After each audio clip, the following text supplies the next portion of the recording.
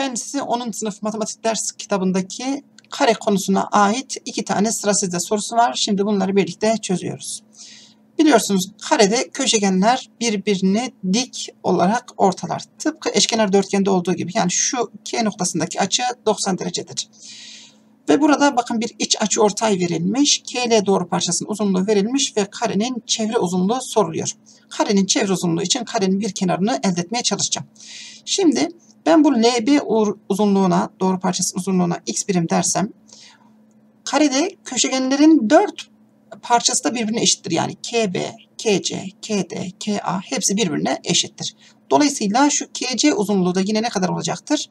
x artı 1 kadar olacaktır. Peki burada karede köşegenler yardımıyla 4 tane ikizkenar dik üçgen oluşur. KBC ikizkenar dik üçgeninde o halde BC uzunluğu köşegen uzunluğudur ve bir dik kenarın kök 2 katıdır. Yani burası x artı 1'in kök 2 katıdır. Şimdi e, bu iç açıortayı uygulayalım. İç açıortay da bakın bu x artı 1'in 1 oranı x artı 1 çarpı kök 2'nin de x oranı eşit olmalı. Yazalım. x artı 1 bölü 1 eşittir. X artı 1 çarpı karekök 2 bölü x. Buradan x artı 1'ler sadeleştirilecek olursa x değeri karekök 2 olarak bulunmuş olur. Şimdi x değeri karekök 2 ise artık bir kenar uzunluğu yani BC uzunluğunu söyleyelim. Bu da neydi? x artı 1 çarpı kök 2 idi değil mi? O halde x yerine kök 2 yazıyorum. Kök 2 artı 1 çarpı kök 2. Karekök 2'yi kök için parantez içine dağıtırsam 2 artı kök 2 sonucuna ulaşırım. Şimdi çevreyi yazıyorum. Bu bulduğum değeri 4 ile çarparsam çevreyi elde etmiş olurum. 2 artı kök 2. Dolayısıyla çevre 8 artı 4 kök 2 santimetre olarak bulunmuş olur. Karenin çevresini böylelikle elde etmiş olduk.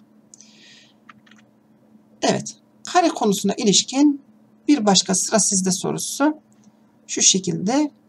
Bakın burada A, B, K dik üçgeni verilmiş. Sonra KBC boyalı üçgeninin alanı sorulmuş. KB uzunluğu 12 santimetre. Şimdi bakın ben şu açıya alfa dersem, şu açıya da beta dersem, alfa ile beta'nın toplamı 90 değil mi? Peki B köşesindeki açı da 90 derece olduğuna göre o halde şu kısma da yine ne kalacaktır? Beta kalacaktır değil mi? Alfa artı beta 90 olduğu için. Bakın ben burada şimdi bir dik üçgen oluşturacağım. Şu C köşesinden KB'ye bir dikme iniyorum. Evet buraya bir dikme indim. Şimdi böylelikle bu oluşan dik üçgende buranın da yine alfa olduğunu söyleyebilirim. Çünkü biliyorsunuz dik üçgende bakın burada alfa artı beta 90 derece. Peki bu iki üçgen oluşan bu iki dik üçgen ABK ve BC buraya M noktası diyelim BCM üçgenleri benzer üçgenler açılarından dolayı hatta bunlar eş üçgenler. Neden? Bak 90'ın karşısı AB uzunluğu çift çizgili gösterecek olursam MBC üçgeninde de yine 90'ın karşısı çift çizgiyle gösterebilirim. Karenin kenarları birbirine eşit uzunlukta olduğu için. Dolayısıyla buradan çıkacak sonuç bu iki üçgen, bu iki dik üçgen aslında eş üçgenmiş. Yani ne anlama gelir bu? Aynı açının karşısında aynı uzunluk olmalı. Mesela bu üçgende beta'nın karşısında ne var? 12. O halde bu üçgende de yine beta'nın karşısında 12 santimetre olmak zorunda. E, dolayısıyla artık üçgenin alanını bulabilirim. Çünkü bu CM dikmesi aynı zamanda bu KBC üçgeninin yüksekliği. Alanı yazıyorum şimdi. Taban 12. Bulduğum yükseklik de 12.